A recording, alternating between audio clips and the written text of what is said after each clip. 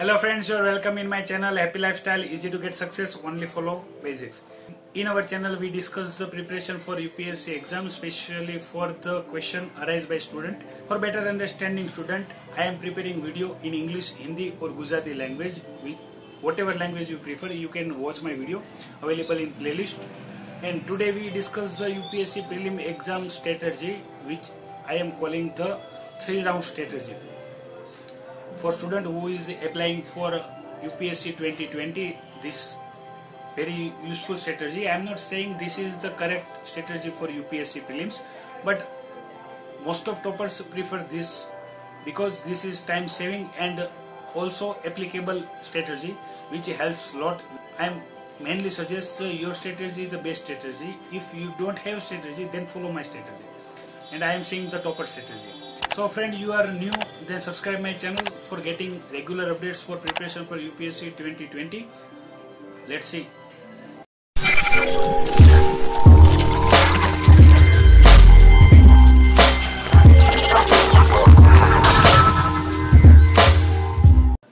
UPSC exam pattern and link available in top of the video. You can see first there and then comes to watch this UPSC prelim exam strategy in this video, we discuss the strategy for UPSC prelims, how many questions you have to attempt, how much time you can take for take the question, and at last, I am suggesting you for how to prepare for UPSC prelim exam.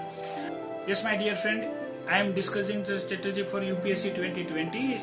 This is called the three round strategy. In three round strategy, what you have to do?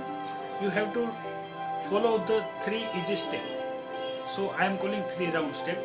In first, whenever you getting your GS paper, paper one, you read the question, you read question and you read answer, you getting the confirm answer.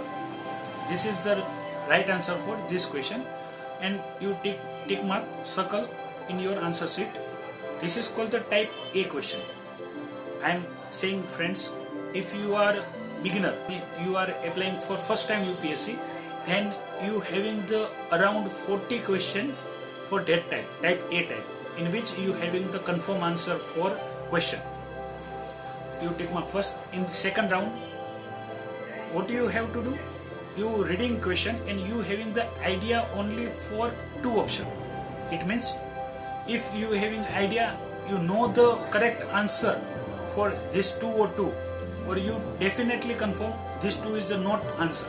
So you eliminate two option in the remaining two option you having the dilemma or confusion in two option so that is called the type b question. Type b question. In which you have to do you have to do first of all mark the question as a b. In first reading whenever you finding for type a question okay which question answer you having definitely confirm answer then you can mark as a a and answer tick in your answer sheet and in which question you having the idea for two two option whether two is correct or whether two is not correct you can eliminate only two option then mark as a type b question. In this you have to mark as a type b. In second round you choose the type b question. And you have to apply your smart guessing which you practice in your mock preparation and uh, mock test which is you given in upcoming time or in current time. So you getting the right answer, it's the chance calling 50-50. Whether you are right or whether you are wrong. That that is the risk factor. And uh, in third round, whenever you doing the first reading, in third third round, you having the idea for one option only. I am saying uh, in four option you eliminate only one option. So remaining three three option is remaining. Right answer is in three okay friend so this calling is the 75-25 ratio. In this you have applied to smart guessing. This is round 3 this type C is a very difficult. Difficult I am saying for this is the difficulty ratio is 75-25 if you are true then then okay but the chance of wrong tick is more. So in this whatever you want to do you have to do the applying your theoretical knowledge as well as your smart guessing as well as your logical. But which subject question it is, but you have to apply your own knowledge. And and remaining, remaining we are discussing. Remaining is the type 4 question and I am calling the type 0 question. In this way you having the question in which you don't eliminate any option. It means you have no idea for question, you having the no any hint or I am saying any information about this question. This question is uh, coming from current affair or whatever place but you don't having any idea. So in type for in four round type zero question you, I am specially suggest you don't attempt this type of question and especially friends I'm saying if your smart guessing is very good, very, very good, then you choose that question for your attempt. So this is all strategy for three round strategy in which first round you have to tick the correct option that called type A. In second round you have to choose the question for type B in which you eliminate two options. In third round you can choose the question type C in which you eliminate one option. In remaining you I am suggesting you avoid this question. Now we discuss the how many question you have to attempt.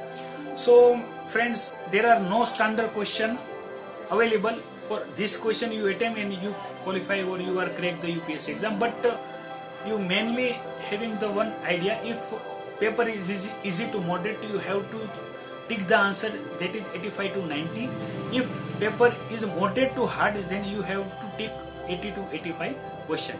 And i am giving break wise also.